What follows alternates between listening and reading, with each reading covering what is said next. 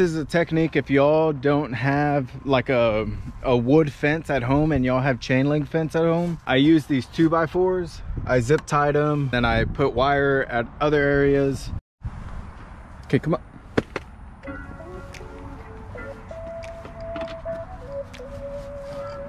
All right, so on today's agenda, we're gonna figure out how to put these pieces of wood up.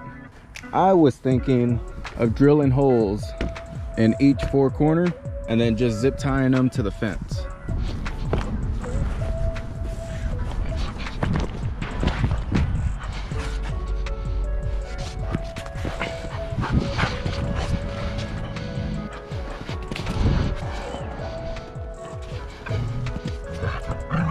What are you looking at?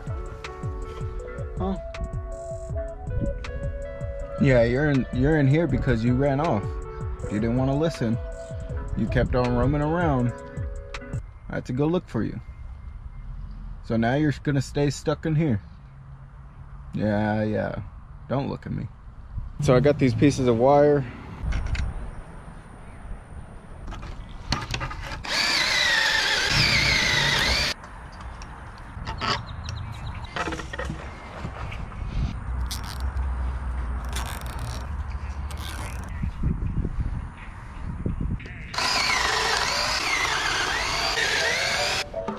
This 2x4 is 8 feet long and that fits just right in the center.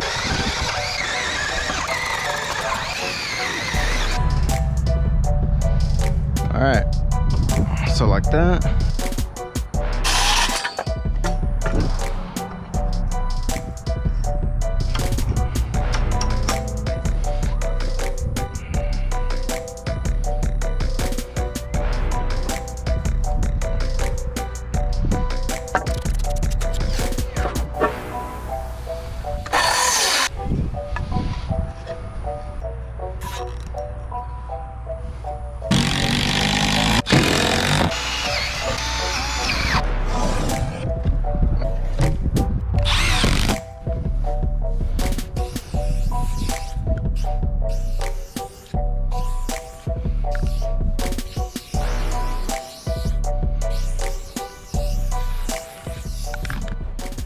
Yeah all this section i'm going to be donating to this area so we could have a like a public wall. If anyone wants to come over here it's an open wall. So yeah this is to be the the local paint yard now. Now we got a buff.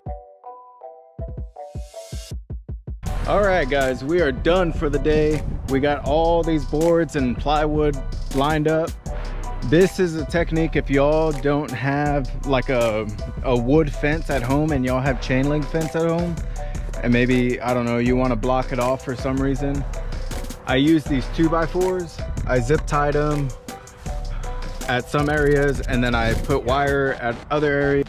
So this is gonna this event's gonna be for a toy drive me and the homies are putting together a toy drive.